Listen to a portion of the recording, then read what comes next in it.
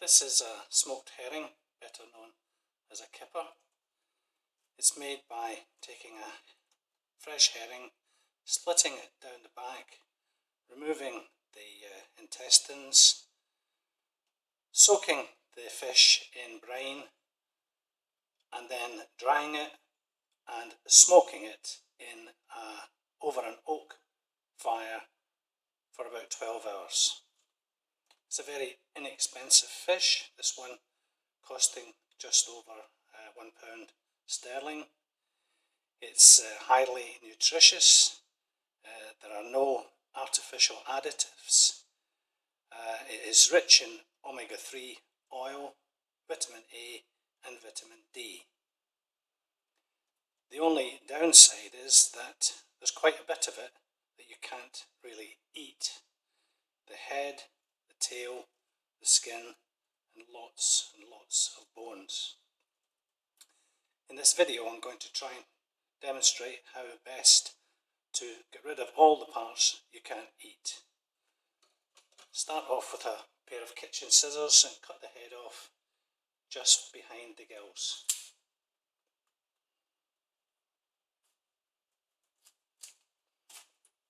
Then cut off the tail just where it joins the body. Now for the skin. Start with the uh, left side of the fish. Put your thumb under the skin on that side. Gently peel the skin from the head end towards the tail that's one half done. Move to the other side of the fish. Put your thumb under the skin at the head end. It's usually a little bit more tricky on this side.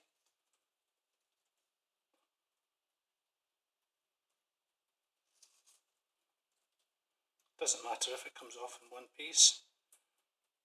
You'll find that when you get about halfway down the fish, you reach the dorsal fin, which you should pinch out with your finger and thumb.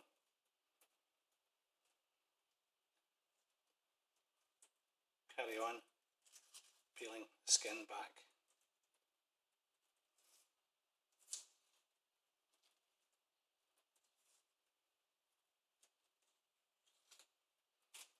Then at the tail end there's another fin.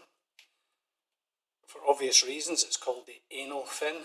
There's a few bones in that you want to get rid of them. Now we're going to get rid of the bones. This is the side of the fish that has the spine bone. What you do is you put your thumb under that spine bone, lift it up and gently prise it away from the fish, pushing up with the thumb of your right hand. Now you'll find that uh, there's a very dark piece of skin here. It's the stomach lining which you want to get rid of and in the process of peeling that off you'll get rid of many of the bones at the front end of the fish. There's a few at the back end sticking out. Now you could use a pair of tweezers to remove these but I find it's quite easy just to do it with your thumb and finger.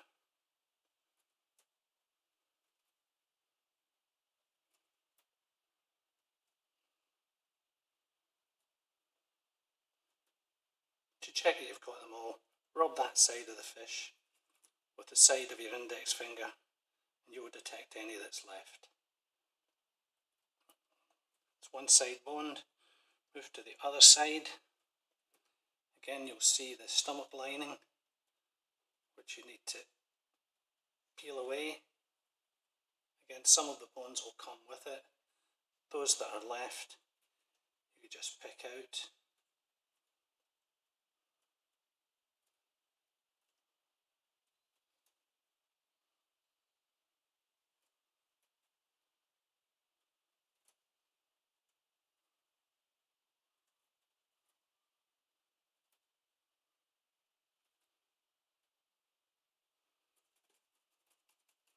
There we have all the bones removed. Now, if you turn this fish over, you'll see that the meat is in three separate bands. There's a very pale piece here, pale piece here, and a dark piece in the middle. I think this has got something to do with the fact that the fish senses movement in the water with this part of its body, and for some reason, this the meat here is much darker than the rest. Um, I, it's perfectly edible, but I don't particularly like the taste, finding it a little bit strong.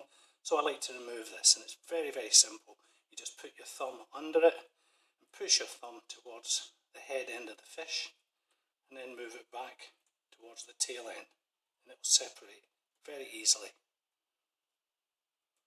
Giving you your first boneless fillet. Pinch out from the other side and again you'll find that it peels off quite easily, separates away.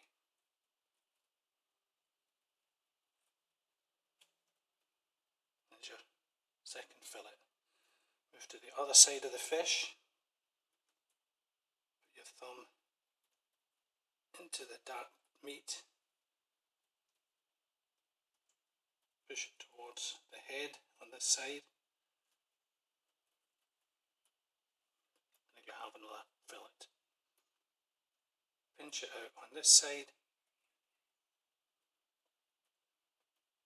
When I dispose of this because I don't like it, but there's no reason why you shouldn't keep it, and cook it with the rest of the fish and see how, whether you like it or not. Then we have the fish pretty much bone free. Any bones that are left in there will be very small and very soft and uh, they won't really do you any harm should you eat them. There's a little bonus on the rib cage that you've already removed. You'll find that on one side of it there is a substantial slither of very tasty meat which you don't want to waste and sometimes there's a little bit on the other side. There we have a boned kipper which you can cook uh, in a grill or in my case I would uh, microwave this for about 45 seconds and uh, I would serve it on toast or if I was feeling a little bit decadent I would add a poached egg to the top of that. Very healthy, very inexpensive meal ideal for children, but I would suggest that if you are going to give it to children, I would at this stage cook the fish and then flake it and make sure that any small bones are removed because children don't like them. Enjoy.